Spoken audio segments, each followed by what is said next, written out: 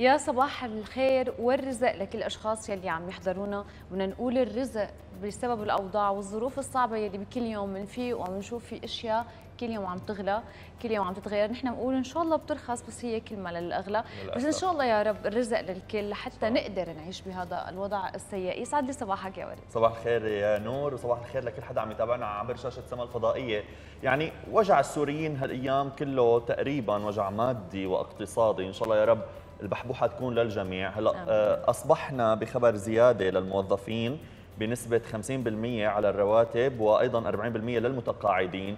يا رب آه، هيك هي الزيادة تكون بركة ورزق للجميع وما تترافق بتضخم بالأسعار بالأسواق. يعني البعض بيفرح بهي الزيادة والبعض بحط إيده على قلبه وبيقول معناتها هلأ جاينا رفعه أسعار وجاينا آه، هيك جشع جديد للتجار. إن شاء الله يا رب نكون رحماء على بعضنا لأنه ما لنا غير بعض. رح نروح لشغلات ممكن تريحنا واللي هي الطبيعة اللي هي غذاء للروح وصحة للجسم. هالشيء أكدته الدراسات؟ فما في أحلى من النظر للطبيعة يلي بتخلصنا من التوتر وبتخلينا نشعر بالارتياح. فوائد خلت اليابان تبتكر علاج اسمه علاج الغابات. تماما. وبيقولوا إنه لما نمضي شوية وقت بالطبيعة وتحديدا ببداية النهار ممكن تتعزز ثقتنا بأنفسنا وتزيد قدرتنا وطاقتنا على العمل خلال النهار. وبلدنا يا نور غنية بأماكنها الطبيعية الجميلة وقراها يلي بتشكل مقاصد سياحية بفصل الصيف. اليوم رح نروح مع بعض لقرية بلوران ونعرفكم عليها مع مراسلتنا ليال يوسف.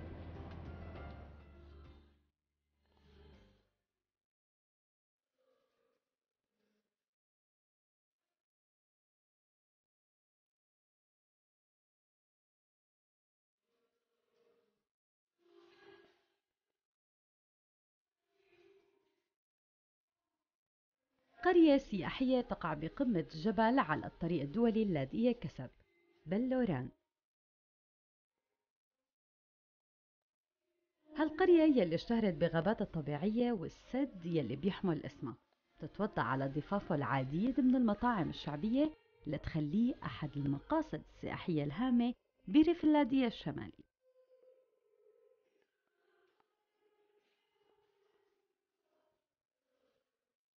بلوران تتألف من 528 عائلة. يبلغ عدد سكانها حوالي 1850 نسمة. آه، تقع شمال مدينة اللاذقية تبعد عن مدينة اللاذقية حوالي 30 كيلومتر. تقع على تلة يحيط آه، بين نهرين نهر آه، نهر بلوران في الشمال ونهر زغرين في الجنوب. هي مركز إشعاع حضاري بنيت فيها أول مدرسة ابتدائية عام 1948 سميت بلورة لأنها كانت تشع في نفس المكان.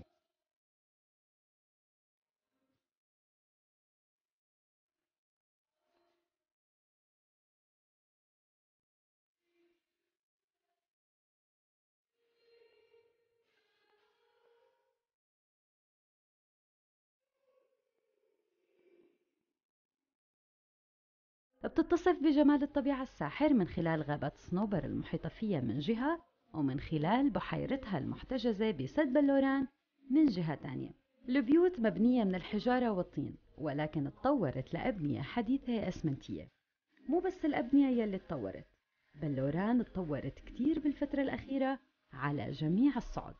بلوران تعد الآن من أهم القرى وأجملها بالإضافة لموقعها الطبيعي والجغرافي يلي بيربط مدينة اللاذقية بكل من منطقة رأس البسيط ومنطقة كسب السياحيتين الهامتين جدا بسوريا.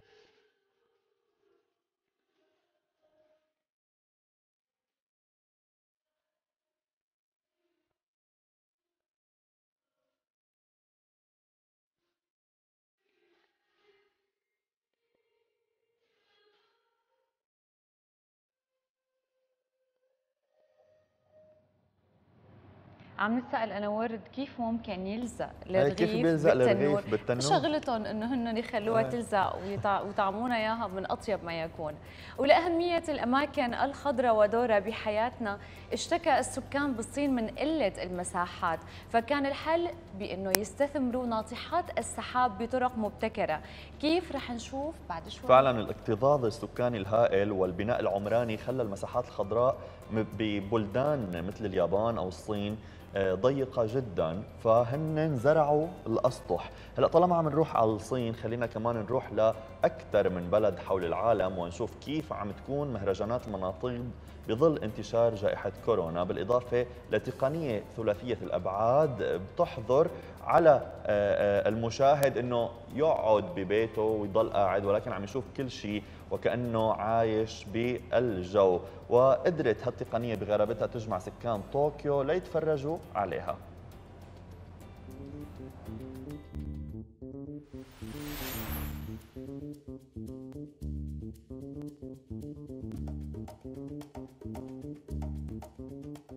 جولة على آخر الأخبار المنوعة بلشت وبدايتها من كاتالونيا بإسبانيا يلي عم يقام فيها مهرجان المناطيد الأوروبي السنوي ويلي بيستقبل حوالي 25 ألف زائر على مدار أربعة أيام بأول أسبوعين من شهر تموز. أكثر من 50 بالون بينطلقوا بالهواء وبيتنافسوا وعادة هالمهرجان بيكون أكبر تجمع لمناطيد الهواء الساخن بإسبانيا. بس هالسنة وبسبب كورونا رح يتضمن عدد أقل من المشتركين وحتكون مدته قصيرة.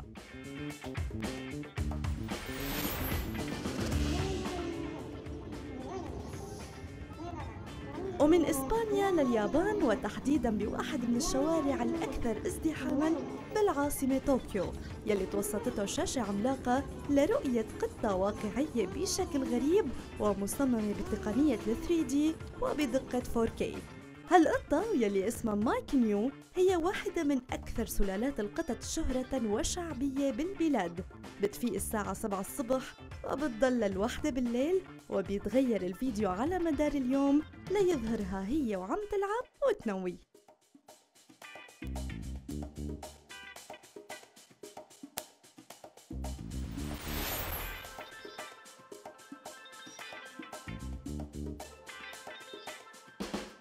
أما آخر محطاتنا حتكون من الصين يلي عم يشتكوا فيها سكان المدن الكبيرة من ضيق المساحات المتاحة لهم للزراعة. فوجدوا حل وهو الزراعة على ناطحات السحاب بمدينة هونغ كونغ وزرعوا العديد من الخضروات على مبنى موجود بالمنطقة التجارية الرئيسية بالمدينة وبيبلغ ارتفاعه 150 متر. وهالمزرعة هي من بين أكثر من 60 مزرعة منتشرة بجميع أنحاء المدينة.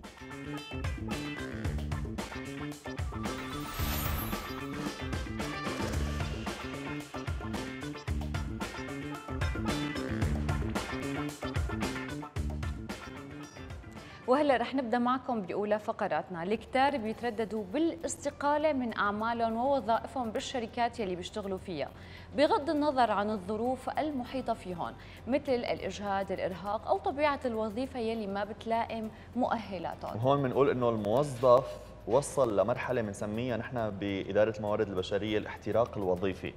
يعني خلص it's too much ما عاد في شيء يعطيه بهالمنظمة أو المؤسسة أو الشركة اللي هو عم يشتغل فيها وقرار الاستقالة عم يلوح بالأفق، هالقرار بترك العمل يعتبر قرار مصيري بيحتاج لكثير من التفكير قبل اتخاذه، بس بحال فكر الموظف منيح بهالخطوة فلازم يخلي بحسبانه إنه في قواعد وإتيكيت معين وأدبيات خلينا نسميها لتقديم الاستقالة وطرق ممكن تسهل الطريق لحتى يفتح عمل جديد بعد ما يترك عمله القديم. عن هالموضوع حيكون حديثنا مع خبيرة الموارد البشرية الأستاذة ريم عثمان. صباح الخير. يسعد, يسعد صباحك. أهلا وسهلا فيكي أستاذة. مثل بالبداية ما ذكرنا أي شخص له أسبابه يلي ممكن تخليه يقدم على الاستقالة من ضمن الشركة أو المكان يلي هو عم يشتغل فيه. ولكن ما بعرف إذا حيكون في أسباب أو هو لازم هي أسباب تكون مقنعة ومقنعة بذات الوقت للإدارة لحتى فعلا توافق. شو هي أهم هي الأسباب؟ آه، بداية يسعد صباحكم. آه، هلأ فعليا كل حدا فينا في بحياته المهنية هدف. تمام. تقريبا المسار المهني تبعنا 20 سنة فعالة خلينا نقول. بهال 20 سنة نحن بحق لنا نختار المسار الأصح. أو نختار ال position اللي نحن بيناسبنا لنوصل للهدف اللي already نحن حاطينه. آه فعليا آه موضوع آه إذا أنا اليوم قررت إني أو اشتغلت بشركة كبيرة ممكن ممكن بس فوت على الشركة أشوف إنه أنا مالي حاسة بالامان الوظيفي.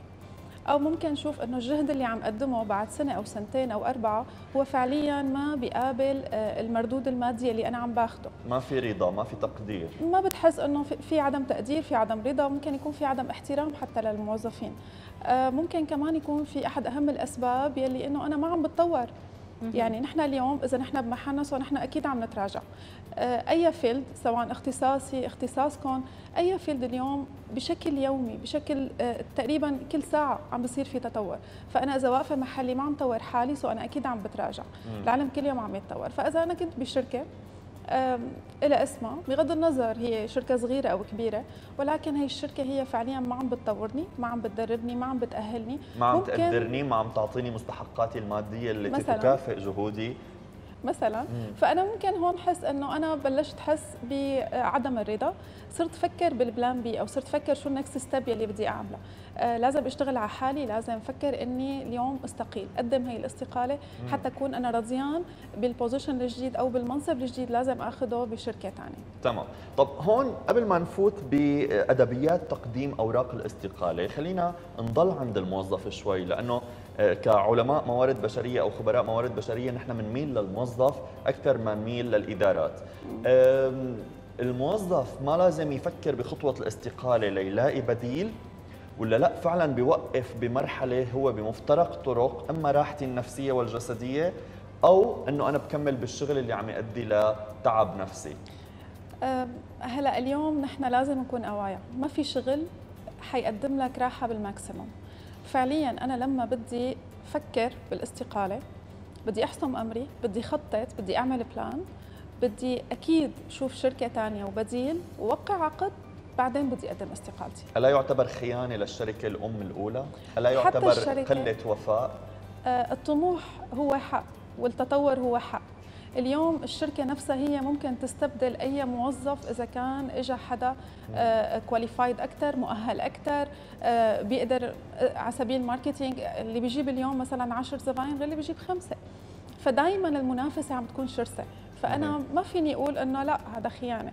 بالنهاية إذا كان في أدبيات معينة أنا التزمت فيها لحتى أني آه، أترك هذا الشغل وحطيت حدا ودربته وحطيت مديري المباشر بالصورة فأنا ممكن أترك بكل بكل آه، يعني آه، مثل ما بيقولوا سمعة طيبة من الشركة. هون مثل ما قلتي أنا عملت واجبي قبل ما أنا أقدم استقالتي وأقوم بهذا الشيء لحتى أنا أكون بالسيف سايد ما يكون في خلاف وما أطلع من هي الشركة على خلاف أو مشاكل مع مشان الشركات الثانية لأنه دائما في سؤال أنت ليش قدمت استقالتك من هذا المكان؟ صحيح. شو الأسباب أو شو الدوافع اللي خلتك تيجي لعنا؟ شو لازم يكون الجواب؟ أول شيء أنا بنصح دائما افتح ورائي وقول بنصح يا كريم. بالصراحة. القطاعات اليوم أي قطاع؟ قطاع الميديا الإعلام البنوك التأمين الجامعات قطاعاتنا صغيرة وبنعرف بعض. يعني أنا اليوم بدي بلش محطة جديدة بحياتي. يفترض إني بلشها صح. يفترض إني بلشها بكل صراحة. ويفضل إني أحكي الصدق لأنه في احتمال 90% الرفض. مو بس الرفض دوموزيل يجيهم المعلومة اللي أنا خبيتها.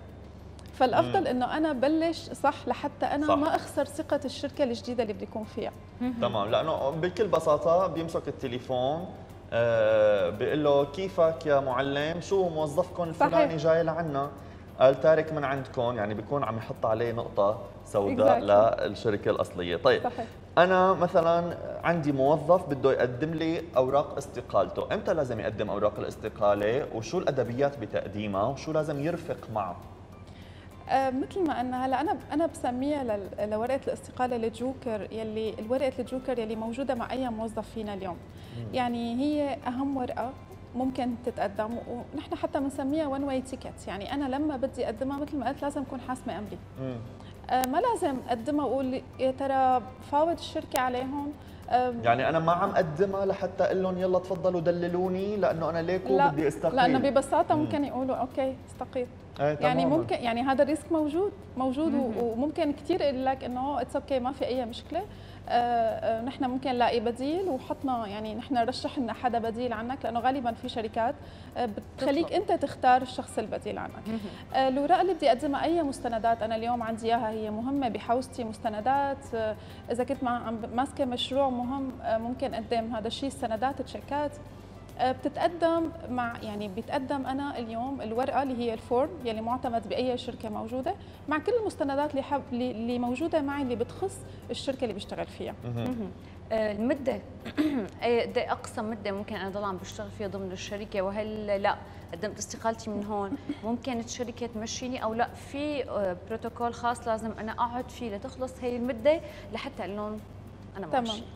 هلا آه، بالمادة 53 من قانون العمل السوري صادر عن رئاسة الجمهورية، قانون العمل رقم 17 صدر بال 2010 آه، هي المادة بتقول لك إنه إذا أنا قررت أقدم استقالتي آه، بحق له صاحب العمل يحتفظ فيني شهرين كاملين. أوكي. يعني هو له كامل الحق إنه أنا بدي خليك عندي هالشهرين تخلص كل شيء أنت ماسكه. إذا في مشروع معين إذا لازم تدرب حدا معين. تبري لنا ذمتك قبل ما تتيسر. 100% طب بجوز تقولي لي آه طب بركي أنا الشركة الثانية قالت لي إنه أنا بدي إياكي خلال شهر. شو شو بدي أعمل؟ آه كمان القانون خلاه يعني هذا الموضوع مرن قال لك أنت فيك تترك بس بتدفع له حق هذا الشهر أجرك يلي أنت كنت تتقاضى بقلب الشركة. تمام.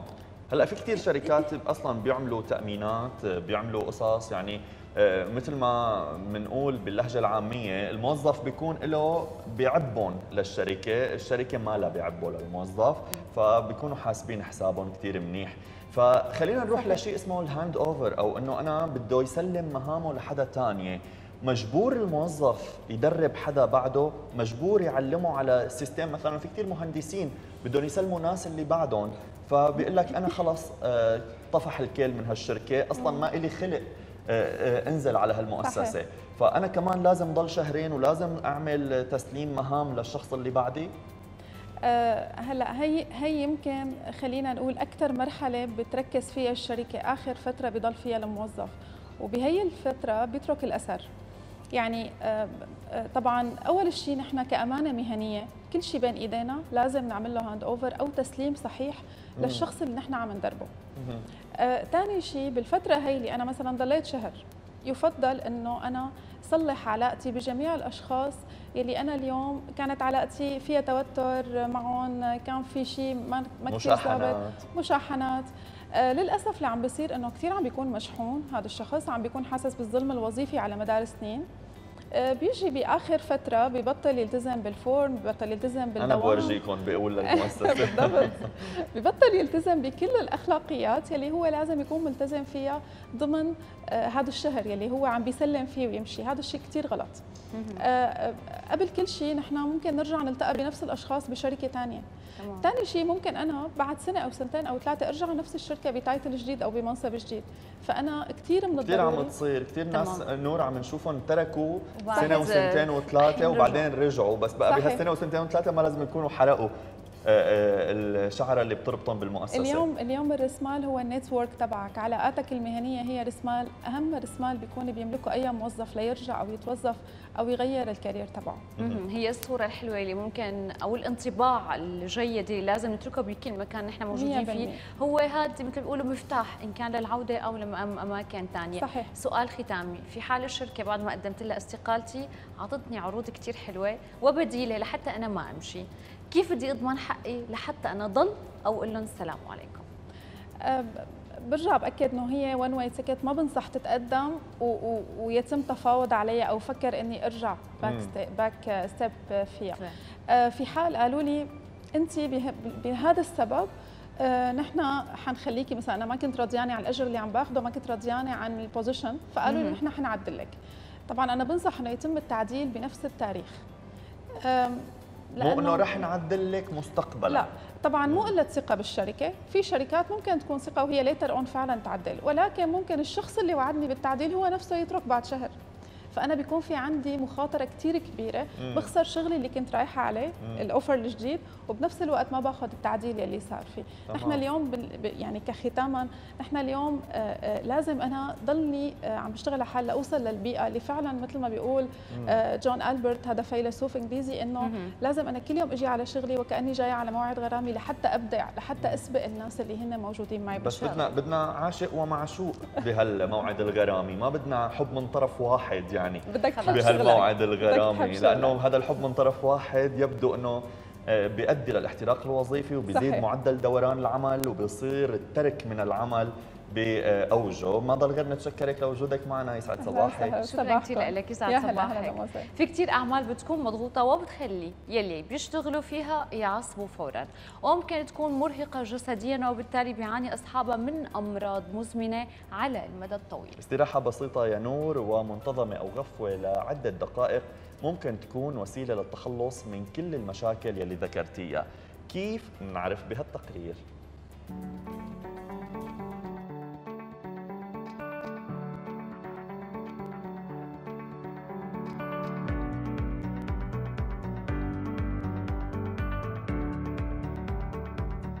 إجهاد العمل معروف إنه بيسبب أمراض ومضاعفات خطيرة ممكن تأثر على أسلوب حياة الشخص وصحته إلا أنه ممكن يكون في بعض الطرق يلي بتخفف من وقع هالشي.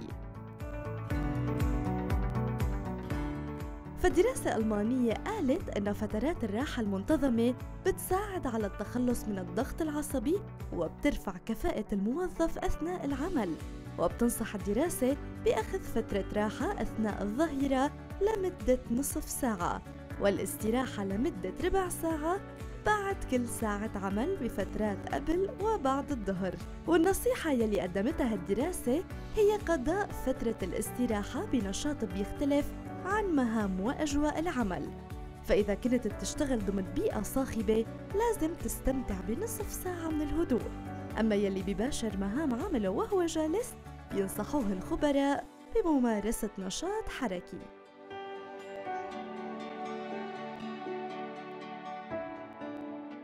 وبالحالتين إذا كان بإمكان الموظف إنه يترك مكان عمله بفترة الاستراحة فهالشي رح يساعده على الراحة ويزيد من قدرته على التركيز. أما إذا كان هالخيار صعب فصار لازم تطلب من مديرك يسمح لك تاخذ غفوة بمكان العمل وتقول له إنه هالشي رح يزيد من كفاءتك لأنه وبحسب دراسة أخرى فأخذ غفوة بفترة الظهر رح يرفع من مستوى الأداء. أما المدة الصحيحة لهالغفوة هو بين العشر دقايق للعشرين دقيقة كحد أقصى. أكثر من هيك رح تدخل بمرحلة النوم العميق ورح تفيق أنت تعبان وخمول. ولضمان الاستيقاظ بعد الغفوة بمنتهى النشاط والحيوية يمكن احتساء فنجان قهوة قبل الغفوة لأنه الكافيين ما بيعطي مفعوله إلا بعد مرور نصف ساعة من احتسائه.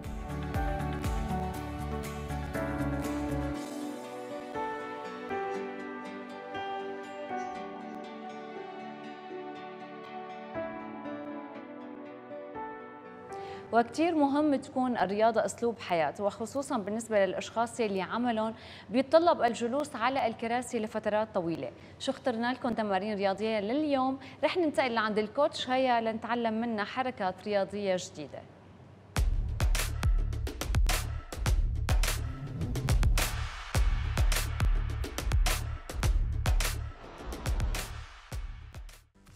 صباح الخير يسعد صباحكم. رح نبلش اليوم تماريننا مع بعض. رح نبلش بأحماء بسيط. رح أركز اليوم بالتمرين على الخفسة الجانبية. نعلي شوي.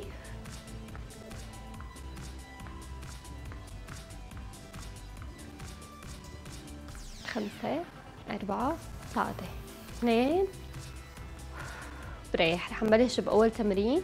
رح ناخد رجل لورا ونطلع فيها فوق. اثنين فوق. ثلاثة فوق. أربعة خمسة ستة سبعة ثمانية. هلا حاطلع نفسها بس فوق اضرب كيك. فوق. ثلاثة أربعة. خمسة. ستة. سبعة. وآخر مرة. رح ريح. الرجل الثانية حأطلع فيها فوق. اثنين ثلاثة أربعة خمسة ستة سبعة ظهري جالس ثمانية تسعة عشرة كمان. خمسة أربعة ثلاثة اثنين وآخر وحدة ريح. باخد نشط. كعب. قدام اثنين ثلاثة. أربعة. خمسة. ستة. سبعة.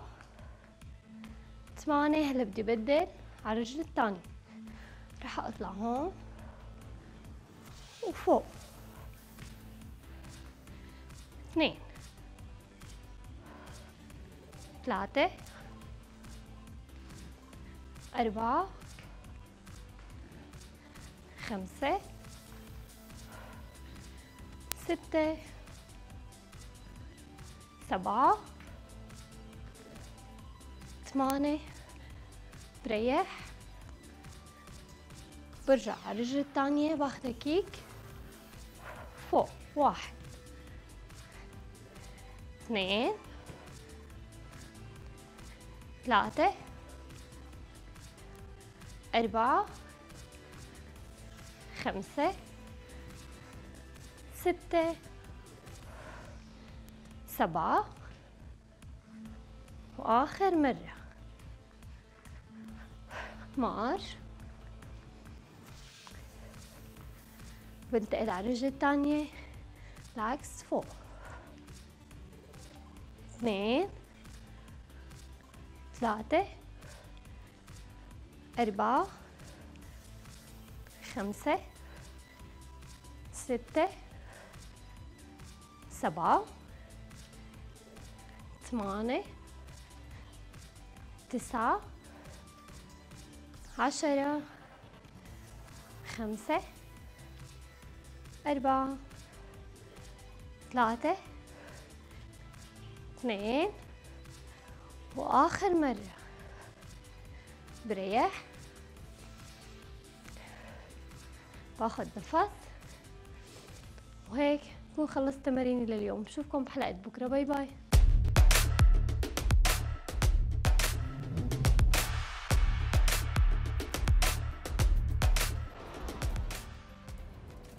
وصلنا معكم مشاهدينا لفقرتنا الطبية اللي رح نحكي فيها عن ضيق التنفس واللي هو من أكثر الأعراض المزعجة الناتجة عن العديد من العوامل من ضمن الإصابة بالربو وفقر الدم مثلا وارتفاع ضغط الدم والالتهابات الرئوية وغيرها من الأسباب اللي بتؤدي للشعور بضيق في الصدر واجمالا بالتنفس. تماما يا ورد ويمكن يكون هذا الضيق مستمر أو متقطع أو حتى مفاجئ.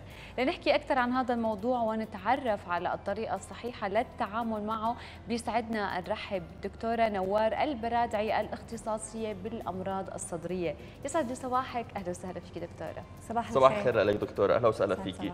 حاسس صدري طابق علي. حاسس بضيق تنفس. هاي الأعراض اللي حضراتكم بتسمعوها بعيادات حالاتكم بالتشخيص السريري فعلا في أعراض بتتظاهر بضيق تنفس وبيكون منشأ مرضي وأعراض ثانية بيكون منشأ غير مرضي؟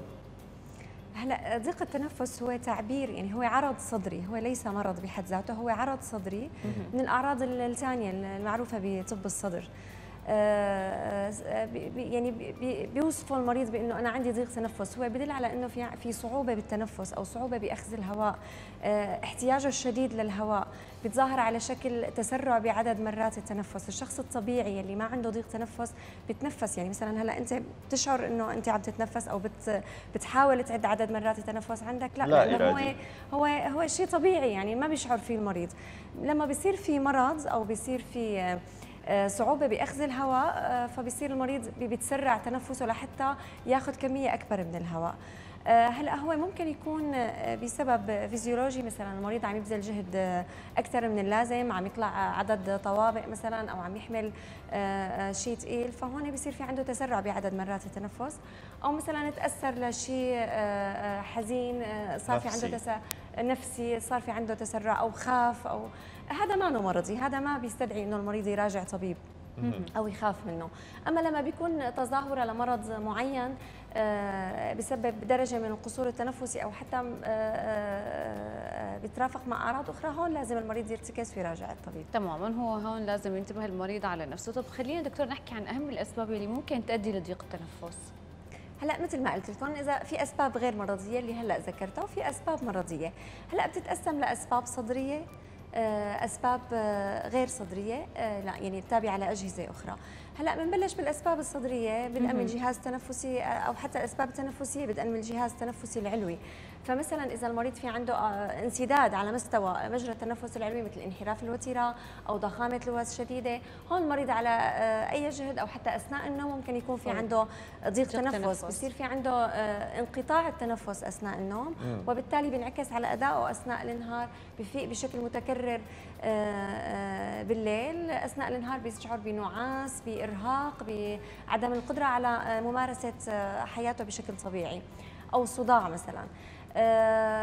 بنوصل آه، للحنجرة. بيصير بيكون في عندنا مثلا آه، وزمه على مستوى الحنجرة بسبب التهاب الحنجرة أو التهاب لسان المزمار. كمان هون بيصير في عندي ضيق تنفس. هي تعتبر من الأسباب الحادة لضيق التنفس. هلأ على مستوى الرئتين أنا إذا في عندي شيء عم يحدد أو بمستوى جدار الصدر عم يحدد تمدد الرئتين يعني في عندي آفات حاصرة مثل تشوهات العمود الفقري تعمل ضيق تنفس. إذا في عندي آفات بعضلات جدار الصدر مثل الوهن العضلي الوخيم يلي هو مرض عصبي مم. أيضا بيعمل ضيق تنفس. على مستوى الرئتين الامراض المزمنة مثل الربو أه وهجمات الربو الحادة بتعمل ضيق تنفس السي أو بي دي أو الداء الرئوي الانسدادي المزمن أه تليفات الرئة اورام الرئة إذا كانت كبيرة أو ضغطة قصبه آه، رئيسية أو حتى قصبه فرعية بس كان الورم كبير بيعمل ضيق تنفس.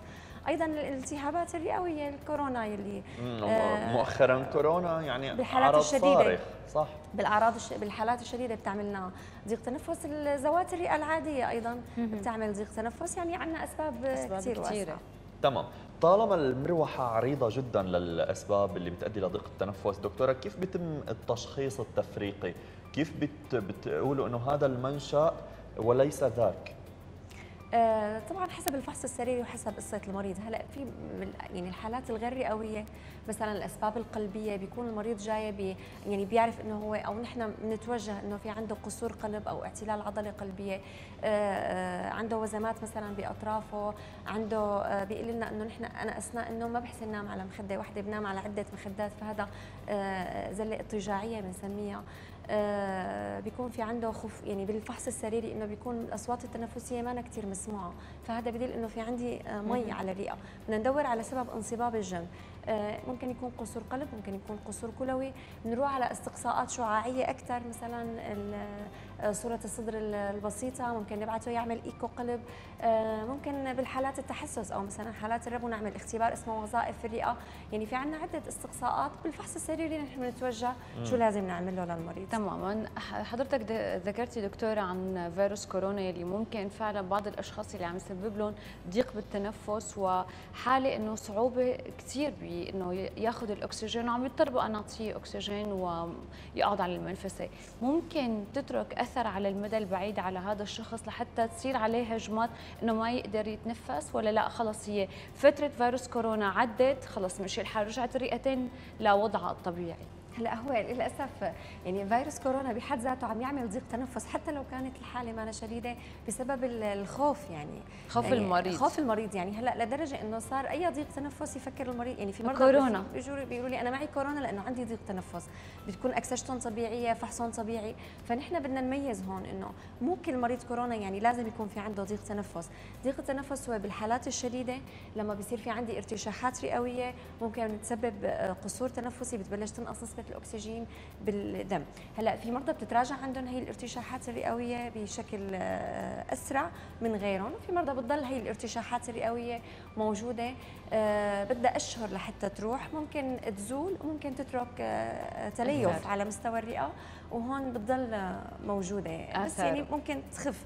في علاجات يعني عم عم يتم تجريبها على هدول المرضى ممكن يستجيبوا عليها ممكن لا تضل تمام. كثير بيلجأوا بعض الأشخاص دون استشارة طبيب أو صيدلاني لموسعات قصبية وبخاخات كورتيزون موضعية أو آه، مضادات للهستامين. ما بعرف أنا شايفة بكثرة عم تتاخذ دون رجعة لطبيب. شو رأيك دكتورة؟ شو المضاعفات السلبية لهالقصص؟ هلأ يعني هو الاستشارة لازم تكون للطبيب وليس للصيدلاني ونحن هذا اللي عم نعاني إنه هو المريض عم يروح على الصيدلية ياخذ الدواء ويمشي. أعطيني دواء موسع قصبي إيه؟ ليش ما ليش ما بيسأل؟ خذ. بيعطي لأنه هو يعني في شق تجاري بالموضوع تمام وليس تمام عند كل الصيادلة طبعا ما بنعمم تماما أكيد. هلأ البخاخات لها يعني مثل ما هي لها فائدة أيضا لها تأثيرات جانبية. يعني مثلا مريض عم ياخذ بخاخ موسع قصبي ممكن يكون في عنده تسرع بعض مشكلة قلبية يعني. في بعض الموسعات القصبية بتعمل تسرع. إذا عنده هو بالأساس مرض كامل وأخذ هالبخاخه هي حيتسرع عدد ضربات القلب أكثر وبالتالي حتعمل له مشكلة أكثر. آه، أيضا بخاخات الكورتيزون الانشاقي هي بتنعطى بحالات معينة مو لكل المرضى. آه، ممكن تعمل فتور بالتم آه، ممكن تهيج الأعراض أكثر إذا هي عم تتاخذ بجرعة غير كافية أو بطريقة ما مضبوطه وبالتالي يعني نحن عم نخسر هذا المنتج. مريض ثاني ممكن يكون احق منه وعم نسبب تأثيرات جانبية المريض ما بحاجة لها وأيضا عم نخفي يعني عم نأخر تشخيص المرض الأساسي الموجود عنده. لا يتوجه لعند الطبيب لأنه بجوز يكون في عنده نقص أكسجة.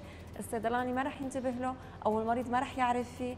آه، ممكن تتفاقم الحالة أكثر آه، نوصل بمرحلة نحن ما عاد نقدر نقدم شيء للمريض. تماما. خلينا دكتورة نفوت بآلية التشخيص المناسبة لحتى نشخص الحالة اللي عم تصيب هذا المريض وعم تسبب له ضيق بالتنفس وآلية العلاج. هلا آه، المريض من لما بيوصل لعند الطبيب طبيب. من خلال الفحص السريري نحن ممكن نتوجه. لسبب ضيق التنفس. آه، بدنا نميز بالبداية هل هو ضيق تنفس مرضي أو إنه ضيق تنفس نفسي أو فيزيولوجي. هلا حسب الحالة ببدايه بنبلش بصورة الصدر. آه، إذا كانت صورة الصدر طبيعية ممكن نعمل اختبار اسمه وظائف رئه إذا المريض بيشكي إنه في عنده أعراض مثلا ببداية فصل الربيع أو آه، مع ظهور غبار الطلع أو آه، بس يفوت على البيت أو بس يفوت على عمله تزيد أعراض ضيق التنفس. مثلا في مرضى بيقولوا لي إنه أنا أنا وقاعد عم شوف التلفزيون بنعس بنام على إشارة المرور بنعس بنام.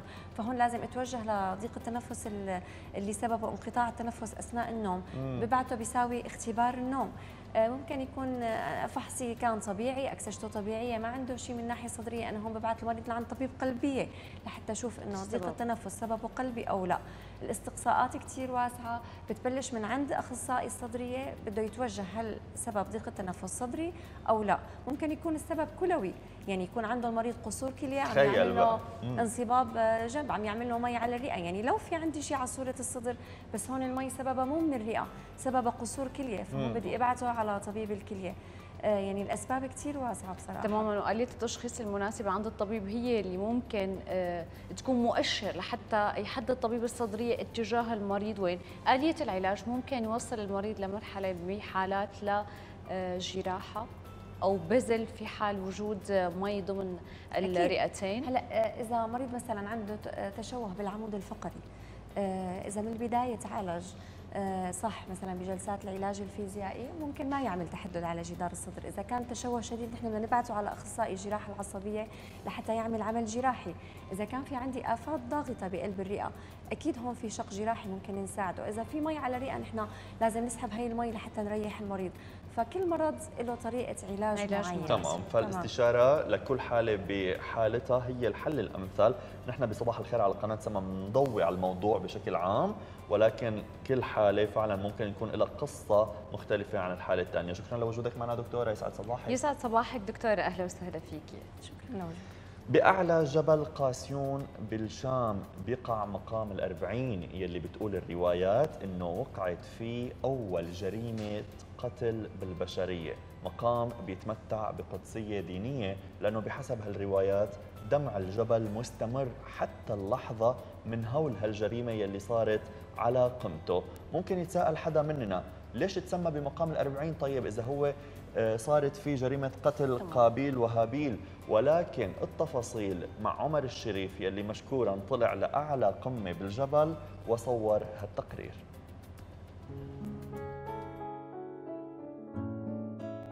ليش هي المغارة تسمي مغارة الدم؟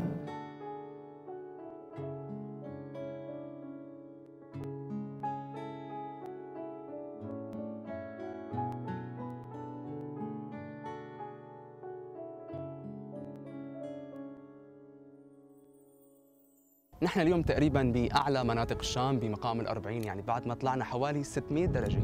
يمكن كثير من الناس بيجهلوا تفاصيل واسرار عن هذا المكان بس نحن اليوم هون لحتى نخبركم أكثر تفاصيل واسرار عنه.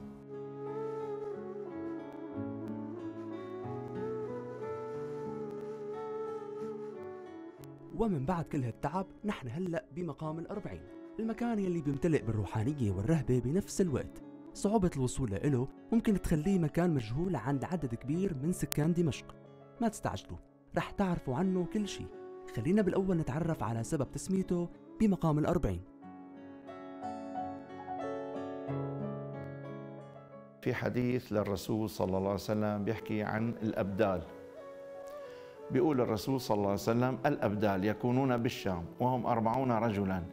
كلما مات رجل أبدل الله مكانه رجلا يسقى بهم الغيث وينتصر بهم على الأعداء ويصرف عن أهل الشام بهم العذاب. طبعا الحديث ثابت والحديث قوي. ما هو حديث ضعيف؟ عندنا هون 40 محراب هدول اللي شايفينهم نحن هدول رمز للأربعين الأبدال. يعني مقام الأربعين وقت تعمر أساسا ما له اسم. اختاروا له اسم مقام الأربعين نسبة للأربعين الأبدال.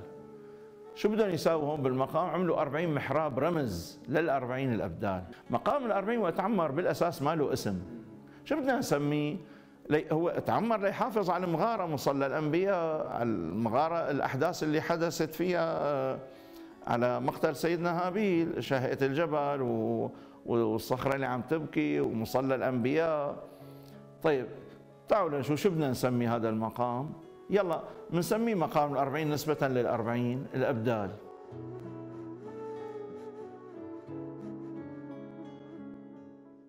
هالمكان بيتضمن مغارة شهدت أول جريمة بالبشرية حسب الروايات ويقال أن الجبل شهق من هول الجريمة وبقي أثر الدم فيه ليومنا هاد ولهيك تسمت بمغارة الدم.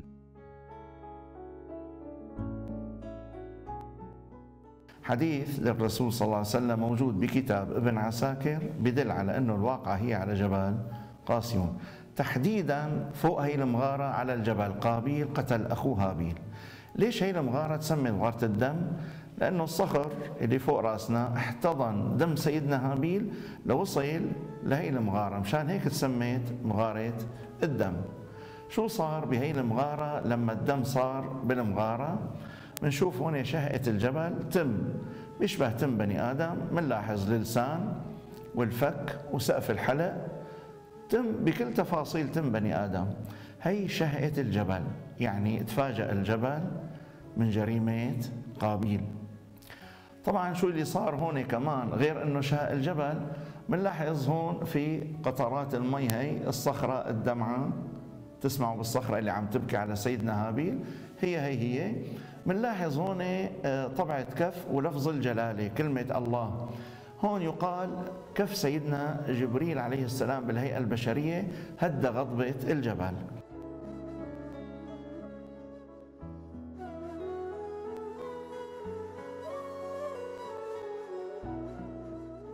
يقال أن الدعاء بهالمكان المبارك مستجاب فبتقول الروايات أنه صلى فيه عدد من الأنبياء عليهم الصلاة والسلام.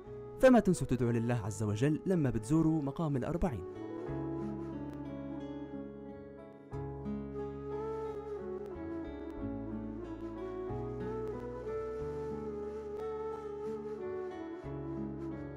you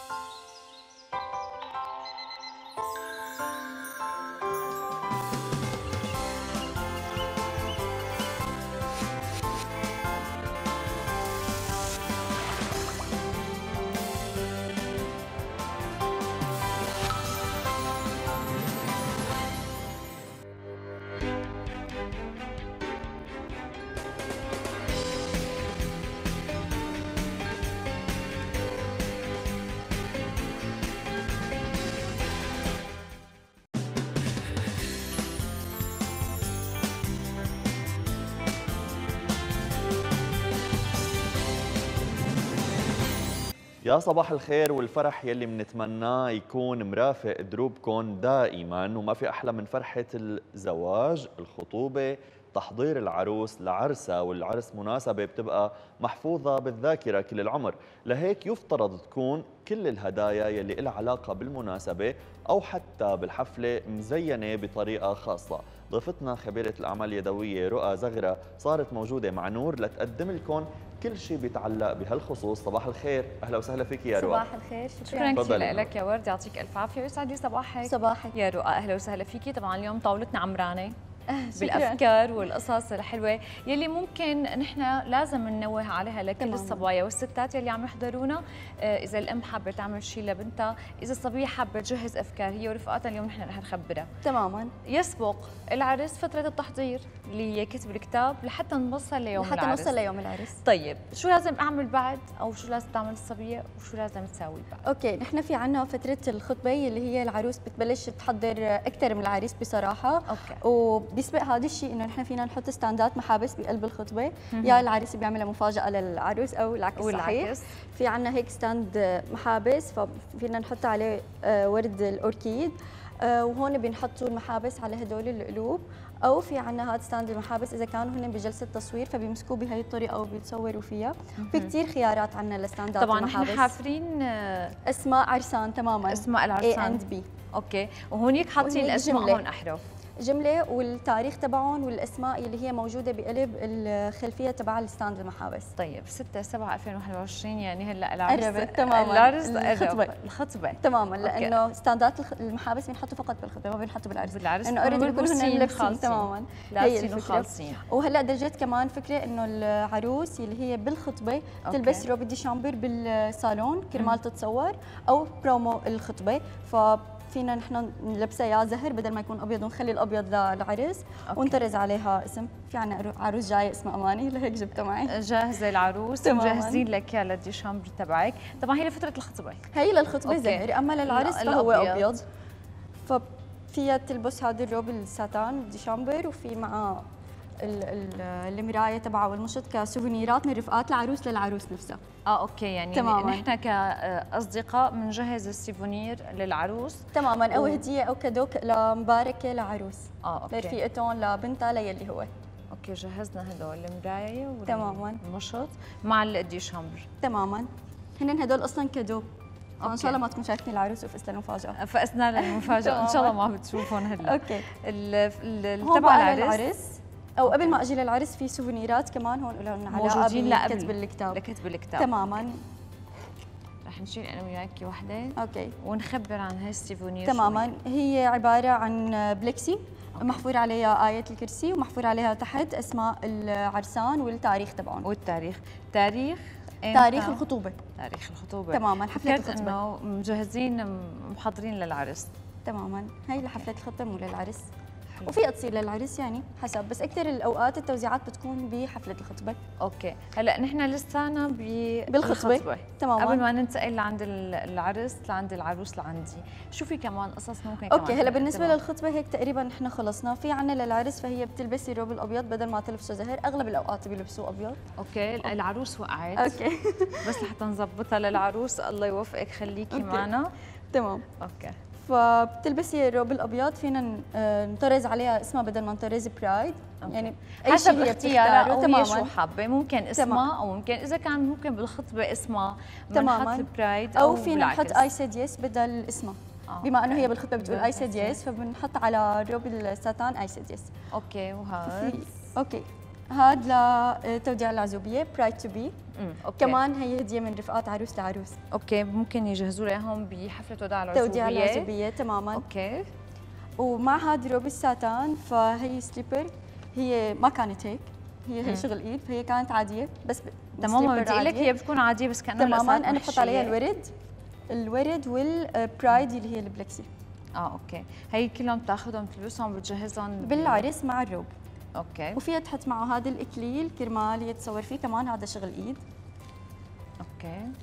هذا الإكليل كمان حلو.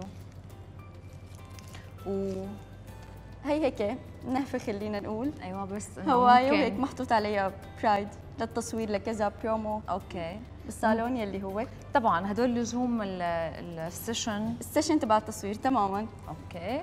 القوس وهذا القوس كمان شغل إيد. أخذ وقت كثير طويل. لا هلا مبين إنه أخذ وقت كثير طويل لأنه في كثير لولو في كثير تفاصيل. لولو وحجار وكريستال تماما. آه في كثير قصص. طبعا نحن معدلين على القطعة اللي جايبينها تماما. okay. هي ممكن إمتى تحطه؟ هذا بالعرس حصرا. إذا ما حطيت الإكليل. لا ما له علاقة. الاكليل هي بتحطه وهي عم تتصور أما هذا بتحطه بدل التاج. هلأ أكثر شيء صاروا عم يروحوا على القواس والعروق أكثر من التيجان. اليوم نحن رح نشتغل شيء أنا وياكي، شو الشيء اللي ممكن نساعد فيه الصبية بسبب التكاليف والصعوبات اللي عم نمر فيها، إنه تقدر تعمل شيء هي بالبيت. okay هي فيها تعمل شيء بالبيت، ببساطة هي فيها ت... ت... خلينا نقول هي تجيب قطعة plexi محفور عليها. هي طبعا بتصممها أو خلينا نقول هي بتخبر محل معين إنه هي يعمل لها هذه ويحفر ويجهز. يحفر لها آية الكرسي أو أي شيء. ما شرط آية كرسي هي اللي بتختاره. فهي فيها تجيب علب بلاستيك. كمان متواجدين هن بالسوق. دقيقة بس. okay. فهي بس بتحطهم بهي الطريقة اللي هن نفسهم بتطلع هي. okay, okay. رجعت وقت العروس. لا لا لا لا العروس اليوم شكلها مو رضيانة علينا. okay. بدنا نحاول نخليها بس. تمام. بس عروستنا اليوم كأنه عاملين لها over كثير يعني الفستان مدلليننا. تماما. okay. okay. فهي فيها تحط قطعة plexi بهي الطريقة وتسكرها. رح خليها للعروس جنبي بلكي لعل وعسى بتثبت عندي. okay. okay. أنت عم تطرقيها. أنا بضل عندي ثابته خلص. okay. okay. فهدول على البلاستيك بتلاقيهم بالسوق من أي مكان إن كان. بتحط عليهم هي الشريطة. okay. عادي. بعد ما نحن حطيناها. يعني شغلات موجودة ضمن البيت يعني بنقدر شغلات موجودة منها. ضمن البيت وفيها تقدر تجيبها من أي مكان بالسوق. هن مانهم كثير غاليين وبنفس الوقت كمنظر على الطاولة هن كثير كربوجين ومرتبين مثل يعني بالنهاية بيطلعوا هيك خصوصا إذا كانوا كثار هلأ okay نحن ممكن هلأ عم نلزق باللزق العادي لأنه لا هي دقيقة. ممكن تمام. كمان نقدر نحن نعمل بالسيليكون هي بالسيليكون بس هلأ أكيد ما فينا نلزق بالسيليكون. تماما. بنثبتها بالسيليكون. وبتصير جاهزة معنا. ونحن بندخل ال design اللي بدنا إياه. تماما. يعني هلأ مثلا هي الورود. في كثير عنا بالبيت مثلا. فينا نحن نعملها على إيدنا من ورق نقصقصها وفي كمان عندنا كثير باقات ورد مثلا هي صناعية ممكن ناخذها صح. ونفك وردة وردة ونفك وردة وردة ونحطها تماما. ونعملها design هلأ نحن رح نحط الوردة عليها. نحط الوردة هيك بهي الطريقة. okay. وفيها تتحكم بألوان الورد. هلأ هون العروس هي طالبة اللون الزهر لأنه أصلا لون فستان زهر okay. فهي بتحطها هون طبعا بتلزق بسيليكون بتحطها هون بهي الطريقة. صار فبترجع ممكن السوفينير تماما. okay. هلأ تصميم هدول المشاطات كمان حلوين. هي في شيء آه لمناسبة معينة مثلا؟ okay. للخطوبة أو حفلة وداع آه العزوبيه أو للعرس؟ يعني أغلب الأوقات هن بياخذوا هدول الأشياء cadeau من آه من رفقات أو مامي أو يلي هو للعروس نفسها أو العروس بتطلعهم بتعليق جهازها كنهفة. بتحطهم ب box مثلا بتحط الفرشاية المراية المشط آه الإكليل مثلا بتحطهم ببوكس لحتى يطلعوا هيك مثل اطفاء يعني إضافة جديدة إضافة جديدة تماما لتعليق الجهاز تبعها مشان يكون بطريقة كربوجة أكثر تمام. آه أنا ممكن كمان بحفلة وداع العزوبية أنا جهز هي القصص ولا لا؟ اخليهم لفترة العرس. لا يعني كونه انت بينطلب منك هيك إشياء لازم نوضح يعني هلأ. بنحب دائما أحيانا نعجقها تماما. هلأ بتوديع العزوبية إذا كانوا متواجدين فهن أغلب الأوقات مثل ما خبرتك رفقات العروس اللي بيهدوها بتوديع العزوبية لأنه كمان صار في عندنا هدايا لتوديع العزوبية. آه، أوكي. أما للعرس أنا بعرف لا العروس مجهزة السيفونير بعد ما خلصت حفلة الوداع العزوبية كمان صاروا هلا رفقاتها هلا رفقاتها صاروا بيهدوها. أما بالعرس أو تكون بالصالون أو وقت البرومو أغلب الأوقات فهي بتكون هي اللي مجهزة المراية باسمها. كرمال تتصور مع روب اللي بيكون أصلا مطرز عليها اسمها مثل عنا هون أماني وهون أماني. فهي بتكون لابسته والمصور هو اللي بياخذ الصور فينا ناخذ لك كمان هي المشروع نعم هلا عم لبق لنا بقى.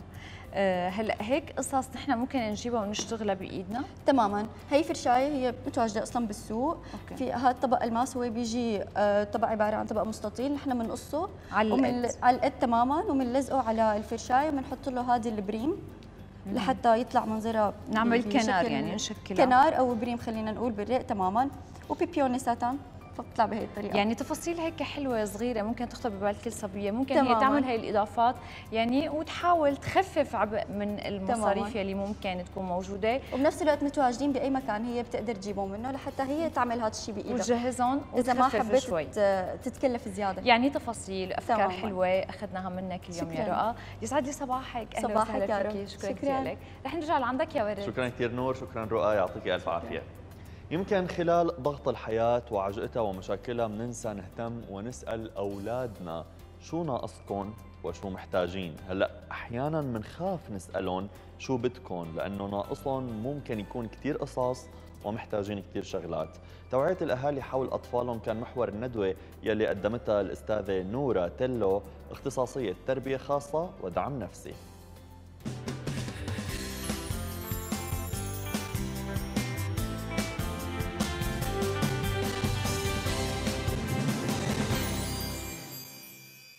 الولد بالذات هو هبة من رب العالمين. لازم نفكر كأنه نحن هلا ولدنا هلا خلقنا هلا بدنا نبلش حياتنا. للحياة متطلبات يومية كثيره من طعام وشراب وسكن ومأوى.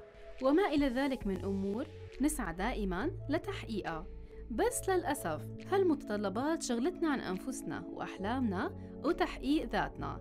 وشغلتنا حتى عن أطفالنا عن أهدافنا وأحلامنا. إذا بنسأل حالنا من إيمت ما حكينا مع أولادنا حديث مطول وصريح بنلاقي حالنا صرنا زمان كتير. بنلاقي حالنا مقصرين كتير كتير. طب حدا فكر فيكم هلأ بعد هالعمر هاد إنه يتعلم مشان يقدر يعلم أولاده أو أحفاده؟ بحثت اخترعت تعلمت لتقليل الصعوبات اللي تعرض وأول هذه الصعوبات شفتوا الولد شفتوا إنتاجاته رغم ما شاء يعني ما شاء الله رغم إعاقته شفتوا أمه شو عملت؟ تعلمت وساوت وأنتجت وعملت ووزعت وساوت وبنت. ساوت كثير أشياء. كرمال تعزز ثقة ابنها بنفسها وتقنع المجتمع بابنها والولد يكون واثق كبير بعين نفسه وبعين الآخرين. شو عملنا لهلأ؟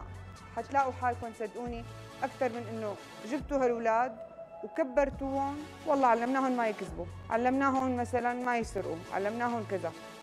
طيب علمناهم كيف يكملوا حياتهم بطريقة هن مبسوطين. كتبت أول حلم من حلمي هو إنشاء جمعية وسميها جبر الخواطر.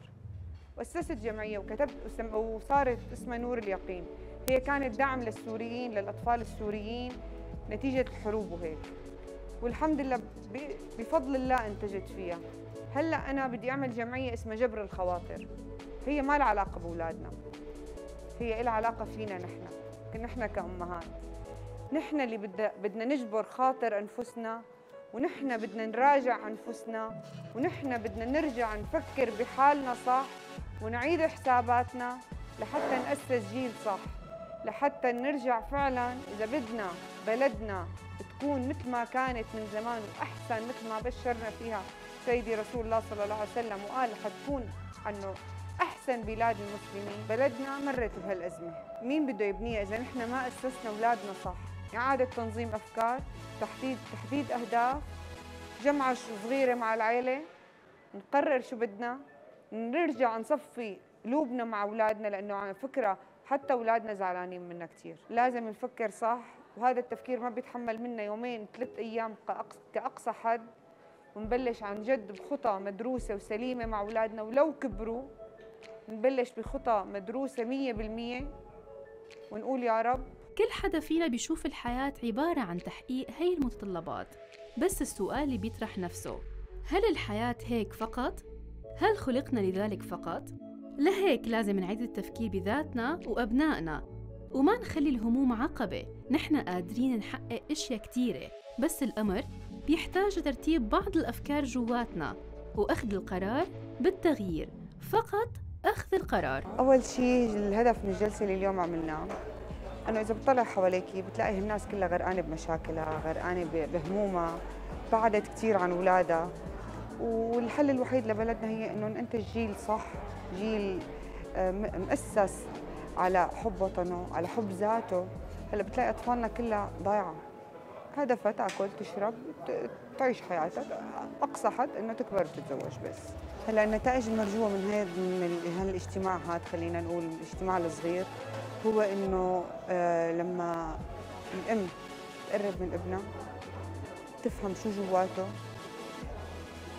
90% من القصص انحلت. 90% من مشاكلنا انحلت. وبلدنا صارت بخير. وصدقيني التواصل مع الولد هو أقرب طريق للنجاح أقرب طريق للبناء ولكن الأهم من هيك إنه أنا أعرف حالي كأم أنا شو بدي. طبعا المدام نورة غنية عن التعريف وإنجازاتها بتشهد بهذا الشيء وأنا بعد هالإجتماع هذا استفدت منها بكثير أشياء وقررت إني حدد حلمي ونفذه بإذن الله وبتمنى لها الخير من كل قلبي. وبتمنى إنه تكثر من هالندوات والاجتماعات ولازم نعمل شيء لبلدنا. المفروض يكون دائما في هيك ندوات لحتى نحن نقدر نعرف شو نتصرف لقدام مع أولادنا احفادنا امهاتنا تعرف كيف تتعامل معنا مثلا مع مع أحفادهم.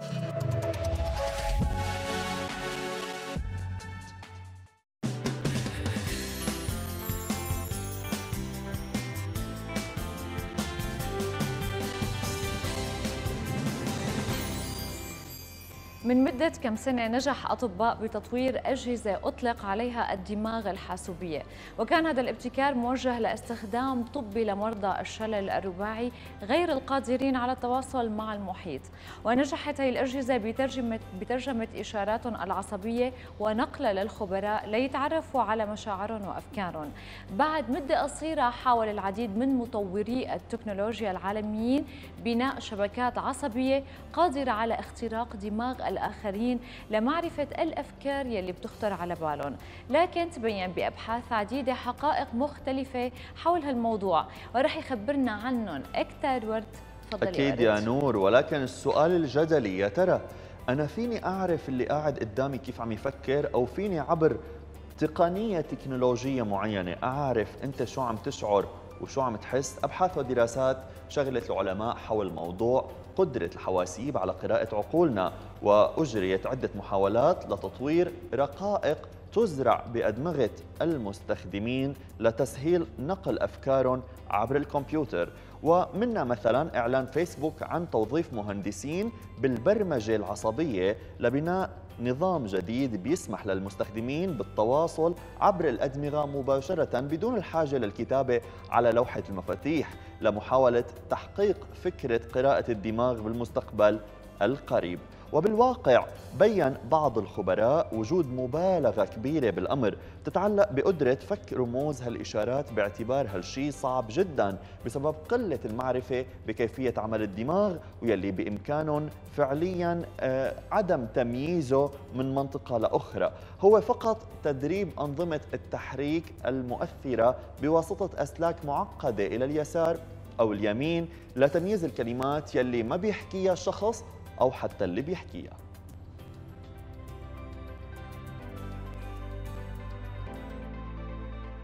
لا شك أنه دخول الروبوتات بعالمنا بيخليه أكثر سهولة لو استطاع قراءة أفكارنا. فالأنظمة يلي بتمنحنا إدارة الروبوتات بواسطة الموجات الدماغية والحركات العضلية راح تسهل الحصول على استجابة أسرع منه. وبين باحثين قدرتهم على ابتكار خطوة ثورية بعلاقة البشر بالروبوتات لخلق تواصل بين دماغ البشر والروبوتات من خلال وضع جهاز قارئ للأفكار على رأس البشر بطريقة بتسمح لهم بالتحكم بالرجل الآلي بشكل فوري. واخترع جهاز مربوط بالكمبيوتر يتمكن من قراءة دماغ البشر لنقل أوامر للروبوتات لتصحيح أخطائه أو توجيهه لطريقة سليمة لتنفيذ مهمة وتسمى رسالة تصحيح الخطأ الفورية وحسب الأبحاث هالابتكار دليل على أن التكنولوجيا والروبوتات ما رح تتفوق بقدرتها على العقل البشري وقراءته.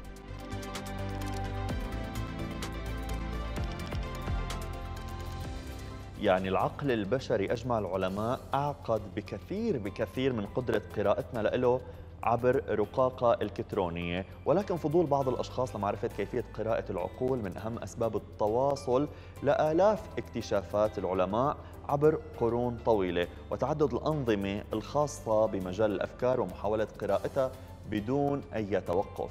لكن إذا بدنا نحكي عن كيفية اكتشاف هالظاهرة بعيدا عن عالم التطور والتكنولوجيا بنقدر نقول إنه قراءة الأفكار موجودة فطريا بالإنسان، الإنسان شغوف بحب يعرف اللي قدامه كيف عم يفكر وكيف عم يحس. وأطلق عليها العلماء آه، تسمية الحاسة السادسة. وبعام 1882 صاغ عالم أمريكي تعبير التخاطر كإشارة لقدرة شخص على قراءة أفكار الآخرين ونقل معلومات من شخص إلى آخر. لكن على الرغم من اجتذاب التخاطر لاهتمام مئات العلماء بالقرن التاسع عشر إلا أنهم اتفقوا على عدم تصنيفه كعلم بحد ذاته واعتبروه نوع من الرياضيات الذهنية يلي بيتمتع فيها عدة أشخاص وهذا العدد اللي بيكونوا آه، عم يتمتعوا بهالظاهرة عدد محدود جدا وعندهم قدرات فوق طبيعية. مع تطور المعرفة بعلوم الطاقة والباراسايكولوجي تبين إنه من الممكن قراءة أفكار الآخرين وكشف مشاعرهم عن طريق معرفة لغة الجسد إضافة لوجود منطقة بالجزء الخلفي من الدماغ هي المسؤولة عن المهارة البديهية وقوتها. فحسب إحصائيات بتقول إنه 20% فقط بيمتلكوا هالقدرة وكلما كان هالجزء نشيط زادت القدرة على عمليات التنبؤ وقراءة الأفكار. وبتعطيه قدرة على قراءة أفكاره. اولا إذا كنت بمزاج سيء ومعصب لا تصدر هالطاقة للطرف الآخر لأنه هالشي حينعكس بطريقة سلبية على التواصل معه. وأكد علماء النفس أن مقابلة شخص لشخص آخر هادئ بيعطي شعور إيجابي وبتصير معرفة أفكار الطرف الآخر أمر بسيط. ثانياً، يعتبر قضاء وقت كافي مع الطرف الآخر بمكان ما أو برحلة طويلة ووجود حوار طويل ومستمر حيلة فعالة ومهمة كتير لأنها بتعطي إمكانية بالتعرف على الطرف الآخر بشكل أكبر ومعرفة ما يدور بداخله. ثالثاً الإصغاء لنبرة الصوت بيحمل مفاتيح لفك ألغاز الشخص الآخر. فالإصغاء لنبرة وسرعة الكلام هو مفتاح لتعرف طبيعة الشخص الحقيقية رابعاً أثبتت الدراسات أنه إذا وقع الإنسان بحيرة وتفكير عميق بيتسع بؤبؤ العين بشكل كبير لكنه بيضيق إذا امتلأ الدماغ بكم كبير من المعلومات. فتعلم لغة العيون من الأمور الهامة لقراءة الأفكار. أما أخيراً طريقة تنفس الطرف الآخر بتدل على الشيء اللي بداخله. مثال إذا كان النفس عم يخرج من الصدر مباشرة فهذا بيعني إنه الشخص مسترخي. أما إذا النفس كان عميق فهو عم يعاني من التوتر والقلق. مم معناها ظاهرة قراءة الأفكار هي قراءة جسد وإيحاءات. وأيضا حاسه سادسه ولكن بنسبة ضئيلة وليست إنه تخاطر مثل ما أكد العلماء بالتقرير يلي شفناه. وصدرت كثير دراسات حول قراءة الأفكار وأبحاث علمية ونفسية لتحليلها وتفسيرها باعتبارها عملية معقدة جدا وتبين عند بعض الخبراء أن شكل من أشكال التواصل الطاقي هون دخل علم الطاقة.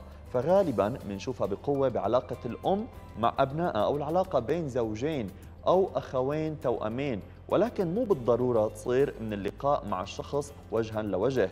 وبيفسر العلم الموضوع حسب حجم التركيز بين طرفي المعادلة وما يمده كل من الطرفين من عاطفة وطاقة باستمرار تجاه الطرف الآخر. فهالشيء بيفتح مجال لأشكال الاتصال الطاقي المختلفة.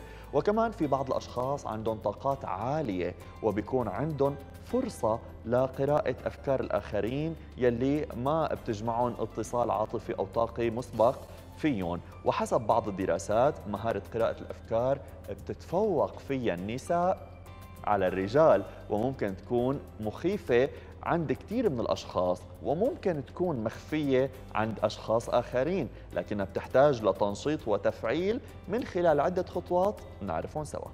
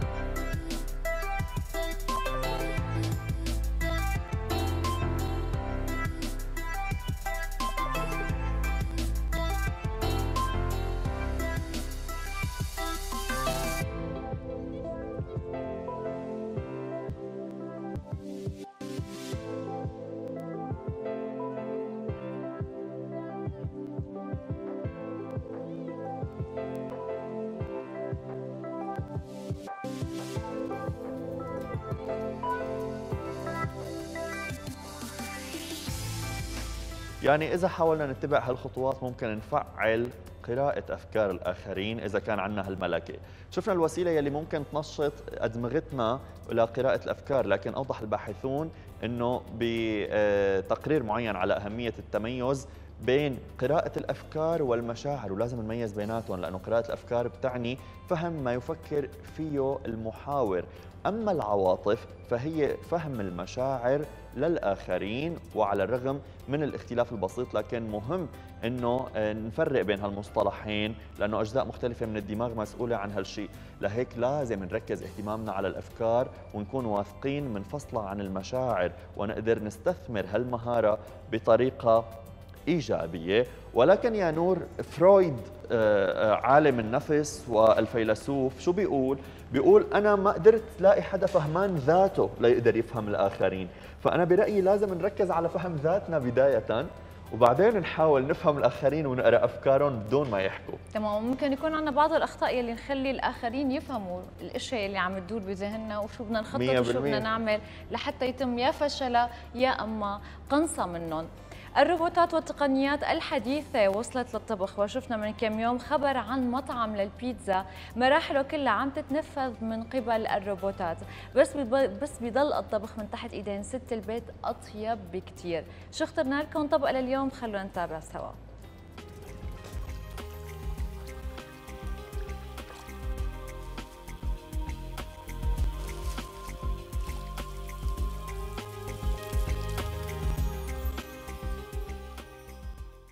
طبق البطاطا الحارة وصفة سهلة وشهية. المقادير أربع حبات بطاطا مقشرة ومقطعة ومنقوعة بالمي. نص كوب كزبرة مفرومة ناعم. 8 أسنان توم مهروسين. معلقة صغيرة فلفل أحمر حار بودرة. كوب زيت نباتي. معلقتين طعام زيت نباتي. ملح وفلفل حسب الرغبة. لقلي البطاطا. بتنجر على النار بتحطي كوب الزيت والبطاطا بعد ما تصفيها من المي. تتركيها على النار حتى تستوي البطاطا وتتحمر. بعدين بتشيليها من الزيت.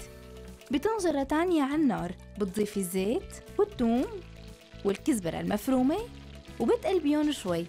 بعدين بتضيفي البطاطا والفلفل الحار وبتتبليهم بالملح والفلفل وبعدين بتقلبيهم بتزينيهم بالكزبرة التازة وبتقدميهم وهيك بيكون صار طبقنا جاهز.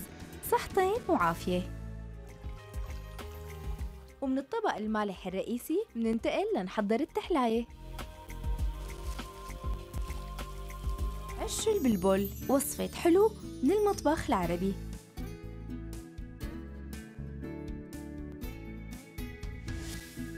المقادير. 2 كوب قطر جاهز.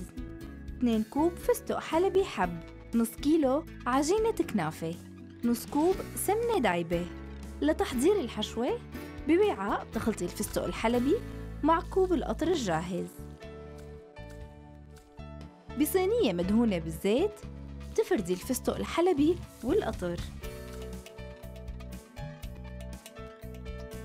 وبتدخليهم على فرن درجة حرارته 180 درجة. بتطلعيها من الفرن وبتحطيها بصحن حتى تبرد. تفصلي من عجينة الكنافة جزء بهالطول بهاي الطريقة. لفيه على أصابعك من أربع لخمس مرات حتى يتشكل شكل العش. بتردبيهم بصينية مدهونة بالزيت. بعدين بتوزعي السمنة الدايبة على كل قطعة. وبتوزعي حشوة الفستق الحلبي بهي الطريقة. بتدخليهم على الفرن على حرارة 180 درجة لمدة 20 حتى 25 دقيقة. بتشربيها بالقطر بعد ما تطلعيها من الفرن مباشرة وبتقدميها بهذا الشكل. وصحتين وعافية.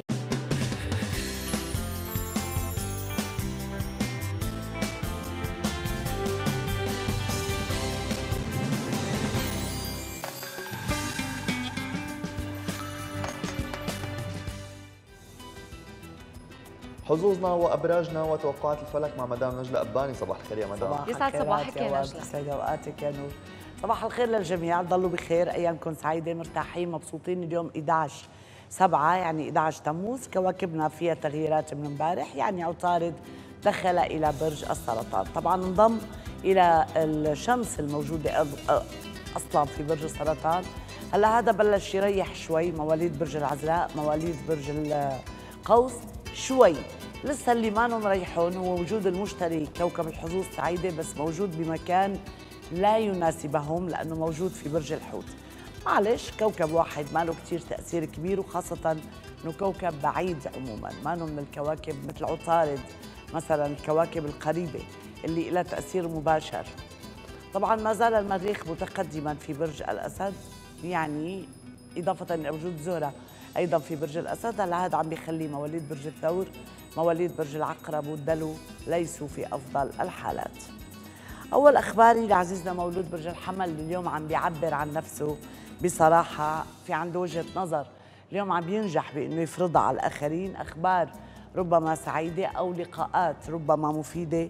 حكمك على الآخرين اليوم شديد الصحة والأمور لك إيجابية خاصة أنك اليوم رايق.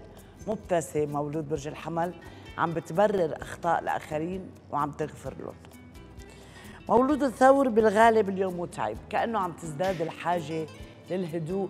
اليوم نفسه ينام نفسه يهدى نفسه يقعد لحاله نفسه يعتزل الناس لكن للأسف لا أعتقد أنه قادر يعمل كل هدول. المشكلة أنه الآن ما بعرف على قصة عائلية على قصة شخصية. الأكيد أنه يعني شخصية شغلة قريبة منه مو حدا بعيد مثلا. ما بعرف ممكن أنه نوع من أنواع العصبية التشوش. يعني أنا قولي بدها الحكاية لمولود برج الثور شوية هدوء. عزيزنا الجوزاء اليوم الفرج عم يجيك من أقرب الناس. يوم جيد ناس عم تشكر عم تمنحك محبة تأييد دعم. يمكن أنت عامل لك قصة هيك عم بتكون إيجابية. وربما تقدر ترتب أمورك على المدى البعيد بالعمل. طبعا أمورك العملية والمالية تعتبر الأفضل ويمكن عم تفرح للمحبة. هي بنرجع بنقول بالعمل لأنه المشتري أصلا ووجوده في مكان غير مناسب لك عم بيخلي الأمور العاطفية ليست في أفضل حالاتها. برج السرطان غالبا عم بيناقش بعض الأمور المالية وما بعرف إذا عم بفكر بسفر. سيستدعي صرف أو عم بفكر ببيت بعقار بأجار يمكن بارتباط. لأنه الحقيقة هي الفترات تعتبر إيجابية لمولود برج السرطان الأفضل هذه الفترات بس المصروف عم بيكون أكثر مما يجب أو الحالة المالية بالمجمل ضاغطة. بدها الحكاية شوية هدوء على الصعيد المالي. برج الأسد الأمور اليوم بالنسبة لك جيدة. صحي نومك قليل ونشاطك جيد لكن الإنجاز على قد اليوم النشاط يعني. اليوم الأجواء حواليك إيجابية مولود برج الأسد. في محادثات عم ترتب فيها أمورك عم تعمل شيء شغلة مختلفة بالنسبة لك. يمكن عم تلاقي تعاطف حواليك أو عم بتسيطر على أمورك كما تريد. بالمجمل يوم جيد وعلى فكرة ليس فقط اليوم الأسبوع القادم كله. مولود برج العذراء لست في حالاتك الأفضل وعصبيتك اليوم ما رح تحل لك مشكلة. يعني في شيء إلغاء لبعض المواعيد في شيء من التصرفات المتسرعة في شيء عم تسمعه اليوم مو كتير مريح. ما بعرف يعني اليوم حاول تكون متأكد مما تفعل متأكد مما تقول. كأنك ضايق خلقك أو في حدا عم بيسألك أو في حدا عم بيسيء لأصدقائك. ما بعرف اليوم يوم يعني في ظلم ما يقع حولك مولود برج العذراء يوم اجتماعي بامتياز لمولود برج الميزان. يوم للتعارف لاستقبال الضيوف مثل حدا عم بدوب ثلج بينه وبين الآخرين عم بيبادر عم يتصل عم بيسافر عم يتعرف على أصدقاء جدد. عم بيرجع على بيته من سفرة ممكن مبسوط بالناس اللي حواليه. يوم الميزان قضاياه العاطفية إيجابية ولقاءاته حميمة ومفرحة. أنت أكثرنا تعبا. اليوم مولود برج العقرب. الحقيقة كأنه حدا اليوم ينتقد كل ما تقع عيناه عليه. يعني قصدي ليش عملتوا هيك؟ ليش سويتوا هيك؟ ليش قلتوا هيك؟ ليش تصرفتوا هيك؟ لازم ما تعملوا هيك. هيك اليوم السيستم عند مولود برج العقرب وغالبا في نوع من أنواع الاستفزازات. أنا ما قلت لا بس الشهر كله لا يعتبر الشهر الأفضل لمولود برج العقرب. فلما بيجي مثل هيك يومين للتعب كثير من الروق وكثير بدنا نهدى لأنه اليوم المريخ إلى جانب الزهرة إلى جانب القمر ثلاثة جنب بعض بمكان غير مناسب. لا لبرج العقرب ولا لبرج الثور ولا لبرج ألدلو. فبدهم الحكاية بالنسبة لهم شوية رواق. مولود برج القوس اليوم الأمور له إيجابية جدا وغالبا يوم لتمشي أمورك كرج. يعني على قصص يمكن كانت معلقة على قصص ما كانت ظابطة معك. اليوم الجو حواليك داعم العروض سعيدة الأمل عم بيرافقك عم تزداد شعبيتك وعندك نوع من أنواع الجاذبية الجميلة. مولود برج القوس اليوم يعني عم بتصلح أخطاء لإلك للآخرين ما بيهم بس اليوم جيد. مولود برج الجدي كمان أفضل كثير من اليومين ثلاثة الماضوا صار لك يومين مكركب. اليوم الأمور أفضل سواء كفرص إيجابية سواء كمساعدات سواء كمحبة من الناس اللي حواليك سواء كقصص ممكن تكون مالية عم تعمل لك سعادة.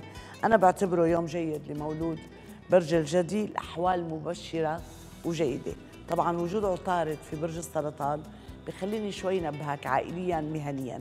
ما في شيء سيء بس خلينا ما نحاول نصعد خلافات بهي الفترات. تأجيل أو استعجال أو ضيقة خلق أو عصبية لمولود برج الدلو. وللأسف لست في اليوم الأفضل مثل ما قلنا اليوم متعب لمولود برج الثور. الأقل تعبا الأكثر تعبا هو العقرب. أنت الدلو من جماعة الوسط. مو كتير ولا ولا سيء كتير ولا حسن كتير. بس بالمجمل هو يوم فيه تأجيل أو تأخير بدك تنتبه على أمورك. ما تصطدم بمن حولك خاصة هدول المقربين اللي أنت بتحبهم اليوم بالذات لا تصطدم معهم.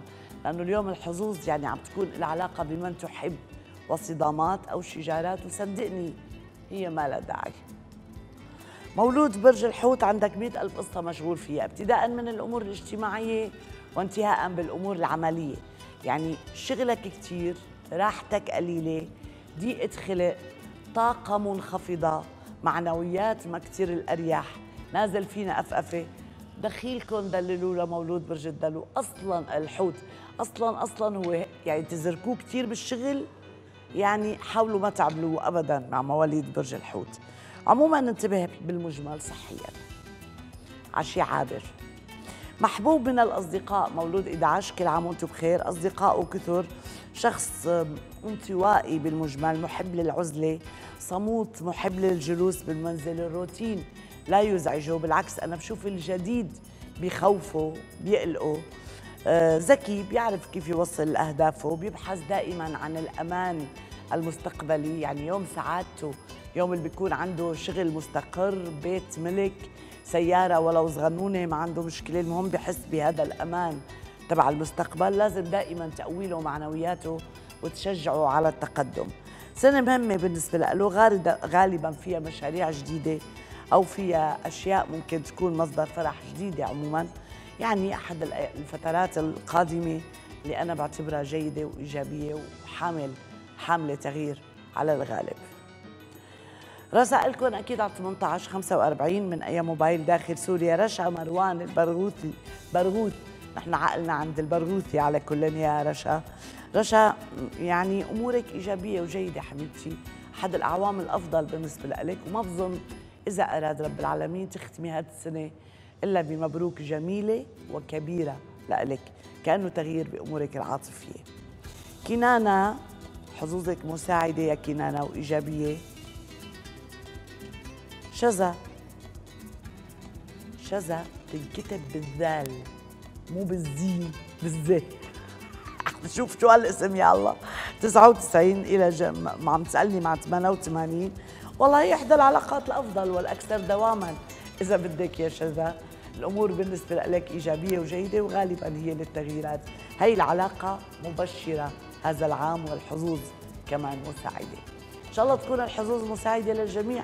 يسعد صباحكم؟ وصباحك يا نجلة. كيفكم مع شذا؟ إذا بدك كمان إذا بدك كمان مدام طاهر بالطاق وليس بالتاء إيه، فبنونا كاتبينها تاهر بس هلا إيه، في بنوتات دلوعات زيادة شوي فإنه ما بيطلع معهم لسويات ما بيطلع معهم الطا والتاء فهيك بدهم بدهم شوي من مدام نجلة كم نصيحة. شكرا مدام نجلة. شكرا لك يا نجلة. والشكر الأكبر لكم مشاهدينا ولمتابعتكم اليومية لنا لهون مشوارنا الصباحي بيكون خلاص بكرة موعد جديد استنونا. تبقوا بألف خير. Thank you